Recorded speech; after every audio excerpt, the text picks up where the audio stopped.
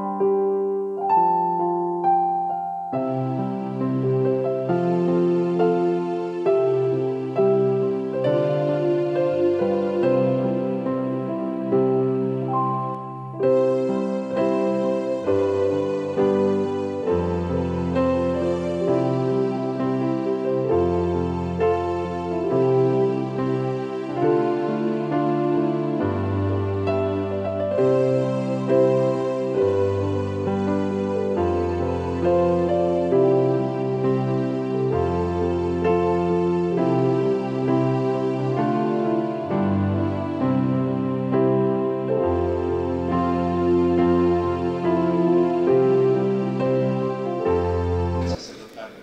a iniciar las ordenaciones sacerdotales como un regalo de la arquidiócesis al Sagrado Corazón de Jesús, al cumplirle los 150 años de la consagración del Ecuador al Sagrado Corazón de Jesús.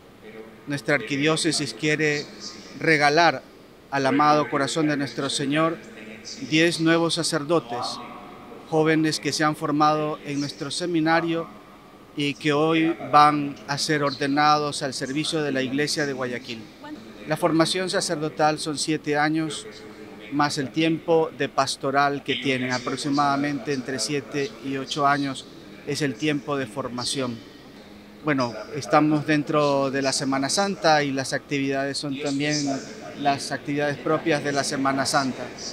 Hoy el principal acontecimiento es nuestra ordenación sacerdotal y el próximo jueves, el momento en que los sacerdotes vamos a renovar nuestras promesas sacerdotales en la misa crismal también a las 10 de la mañana. Eh, como parte de la consagración de los 150 años, nuestras parroquias van a tener las visitas del Sagrado Corazón de Jesús, una réplica del cuadro que tenemos aquí en la catedral. Además van a haber muchas consagraciones, nuestras parroquias se van a preparar para que nuestros fieles puedan consagrarse al Sagrado Corazón de Jesús o renovar a aquellos que ya han podido consagrarse a lo largo de su vida. La renovación de nuestra consagración al Sagrado Corazón de Jesús, como ya dijimos, tiene ese trasfondo de la antigua alianza entre Dios y su pueblo.